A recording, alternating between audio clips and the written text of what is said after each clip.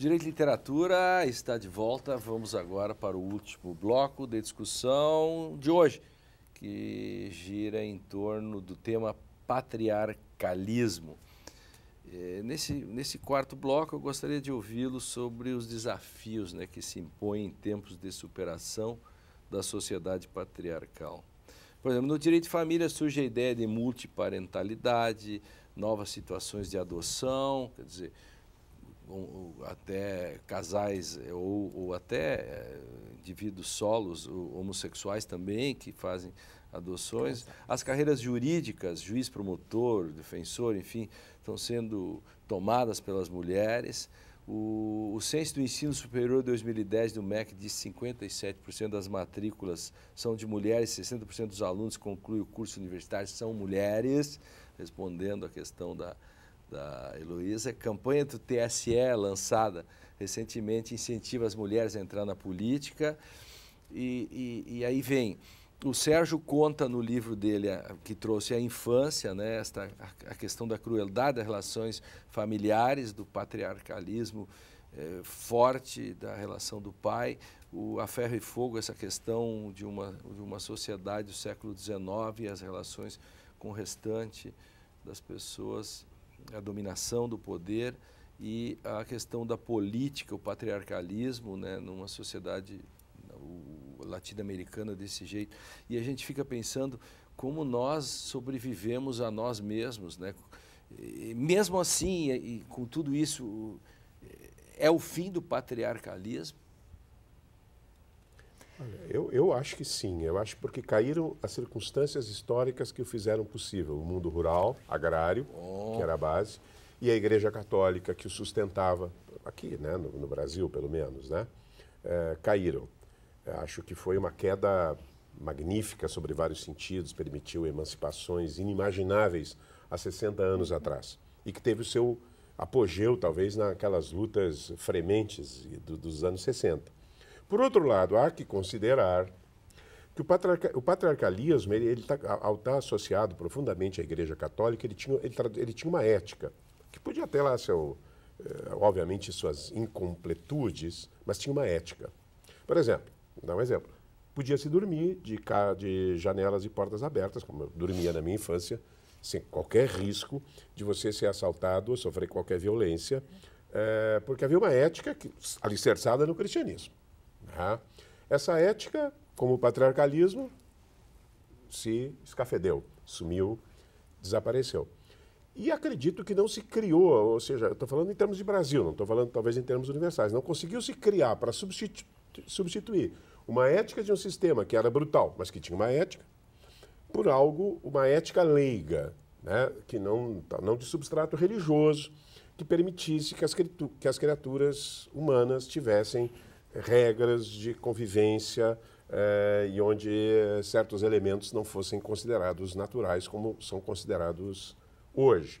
O Drauzio Varela tem uma pesquisa incrível, porque 95% dos crimes hediondos são cometidos, isso eu achei essa, essa, essa, pesquisa que ele fez no Carandiru antes daquele episódio, uhum. são cometidos por é, criminosos que não tiveram pai.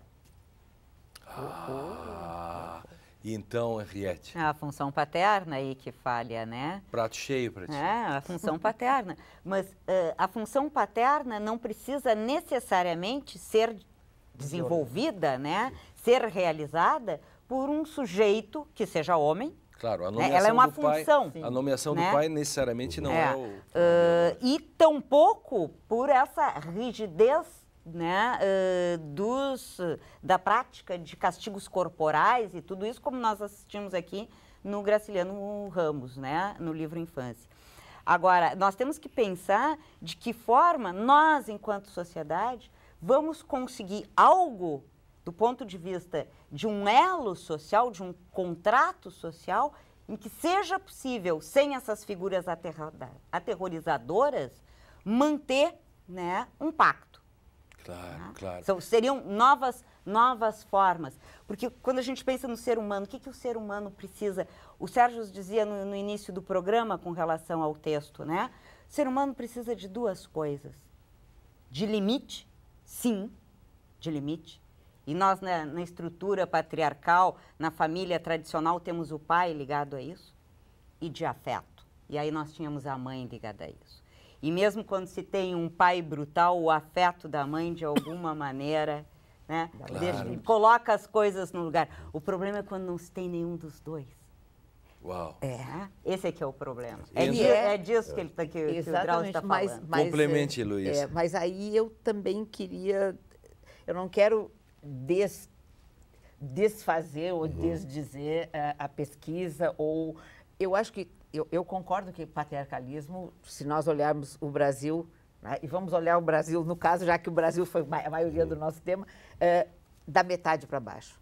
Mas o Brasil como um todo, eu acredito que o patriarcalismo ainda está muito presente em sociedade, especialmente nesta, nestas regiões do Norte e porque, Nordeste. Porque continuam as condições objetivas as, exatamente, da estrutura. Coisas, e isto nós colocaríamos, por outro lado, dentro desta história da longa duração, porque se na, se na lei já, já mudou, na prática ainda não mudou. E este pai que é violento, ele ainda está vivendo numa sociedade em que o seu pai foi violento, o seu avô foi violento e ele acha que é este o caminho é, ainda. É efeito cascata, ah, né? Exatamente. Uma geração e é passa é, para outra suas é, mazelas. Exatamente. Né? É muito longo de relação para se poder. Você acha que o pai violento produz, fosse, em regra, um filho violento também? É, é, leva o exemplo. Tem, tem, tem, tem, tem às vezes pode cair exatamente no outro lado, mas boa parte ele é, também vai ser violento, é, é porque a, esse é, é o sistema. A matemática aí é simples, é. né? Por favor. É, é, ou por assimilação ou por reação, né? Uhum. Nós temos o poder tanto de assimilar, isso vai depender de cada um, mas podemos assimilar situações eh, dolorosas, né? Reproduzindo com o outro, né? Ou podemos nos colocarmos de uma forma aversa né, de aversão a isso, o que é uma formação reativa. Então, e, e Sérgio, e no, e no Graciliano, por exemplo, como esse menino ele resolve isso na sua vida depois? Ele não resolve, né? Ele não resolve. É, casualmente, é um detalhe puramente pitoresco quase, mas é, é, conversando uma vez com o filho dele, ele se queixou que o pai nunca o abraçou, o filho do Graciliano.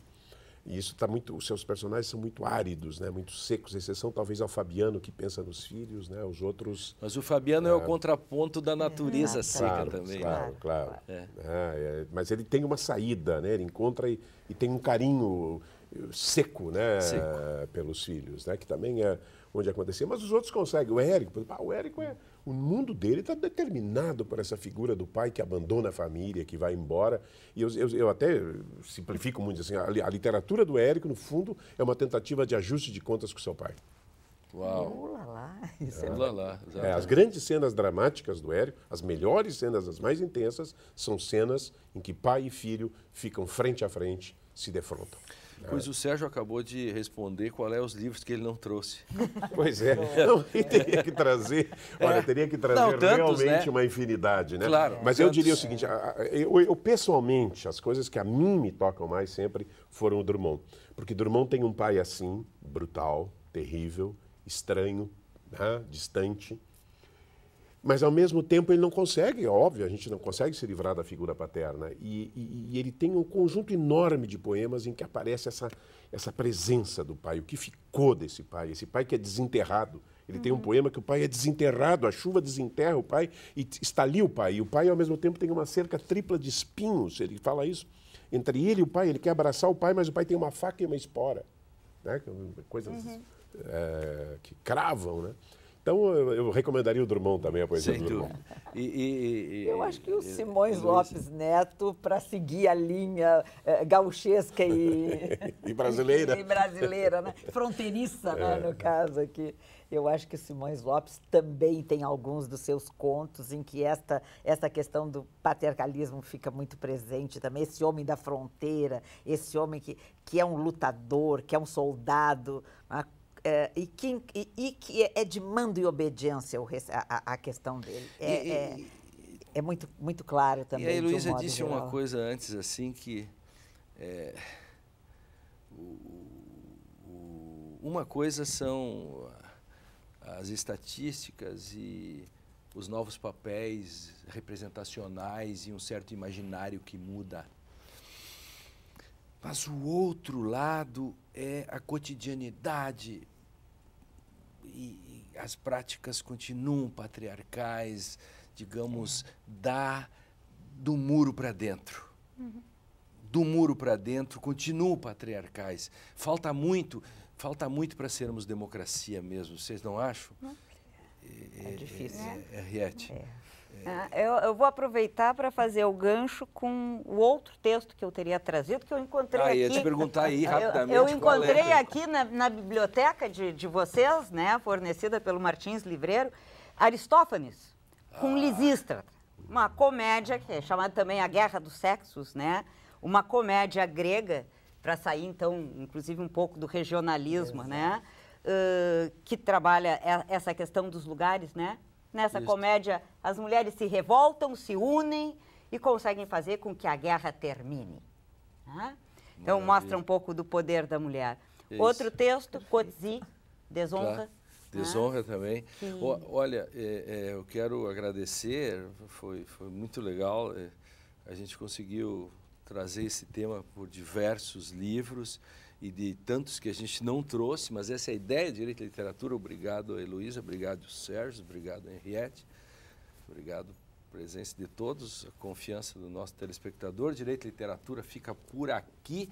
Não esqueça que você pode rever nossos programas na internet pelo endereço youtube.com barra TV Rádio Unicinos. E é claro, você pode participar da construção do Direito e Literatura. Envie sugestões e comentários para facebook.com barra Direito e Literatura.